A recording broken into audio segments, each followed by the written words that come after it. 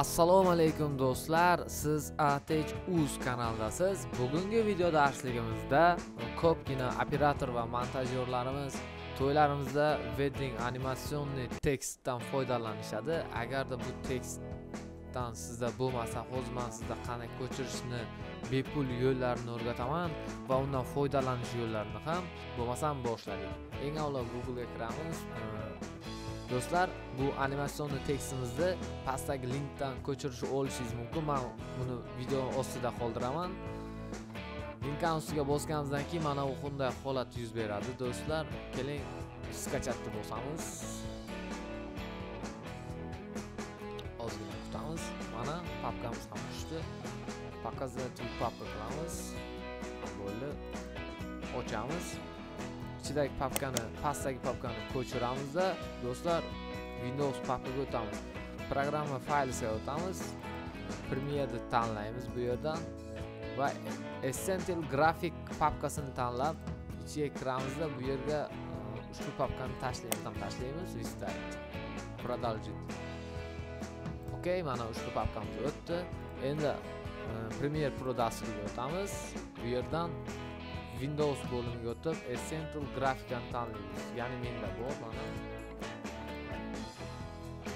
mana do'stlar e, motion graphic template'ni qayerdan olishni logotipini ko'rsatyapti ushbu papkani ustiga bosamiz va qayerda olishimizni aytamiz bayram files adobe premiere pro.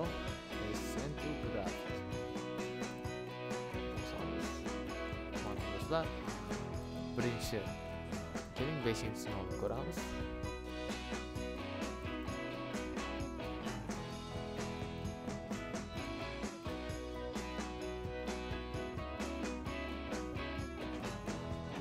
бала animatsion tekstimizni ham ko'chirib oldik endi bu tekstdan siz bemalol to'ylarda baby story love story va shunga o'xshash videolarda qo'llashingiz mumkin. Keling tekst ichidagi e, ismni o'zgartirib ko'ramiz. Buning uchun e, video animatsion tekst ustiga bir marta bosamiz va bu yerdan xohlagan e, xohlasangiz rang berishingiz ham mumkin. Keling rang berib ko'ramiz. Qizil rang tanlaylik qaysi biri mana rafael ismga rang berdik.